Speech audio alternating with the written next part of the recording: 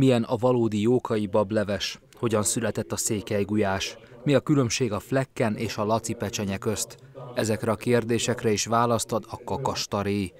Fehér Béla írónak és Gálfi Zsuzsanna történész levéltárosnak az volt a célja, hogy a szélesebb közönség is megismerje a magyar gasztronómia múltját. Úgy gondoljuk, hogy a, hogy, hogy a magyar gasztronómia történet tele van ö, ferdítésekkel, tévedésekkel, ö, illetve nagyon sok a homályos ö, folt, amit, ö, tehát amikről nem is tudunk semmit, és hát ez volt a célunk, hogy, ö, hogy egyrészt, hogy ezeket minél jobban feltárni, meg megismerni és megismertetni a szélesebb közönséggel is.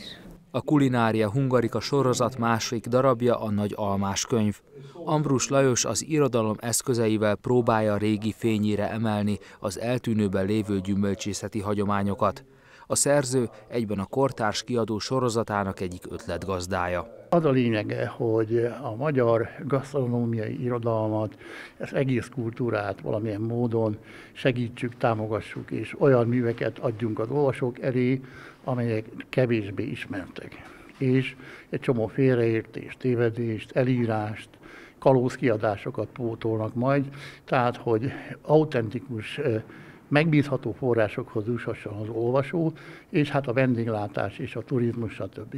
A kakastaré amellett, hogy tévedéseket korrigál, ismeretlen receptek és nehezen hozzáférhető gyűjtemények képanyagát tárja az olvasó elé, mondta a bemutatón Ambrus Lajos. Kultúrtörténeti csemegék összegyűjtése, vagy akár a gyümölcsfa nemesítés, vagy az őshonos fajtáknak az összegyűjtése ma már ritkaságnak számít. A kötetek bemutatóján Lévai Anikó, a Magyar Konyha Szerkesztő Bizottságának elnöke elmondta, mindkét iromány hiánypótló alkotás.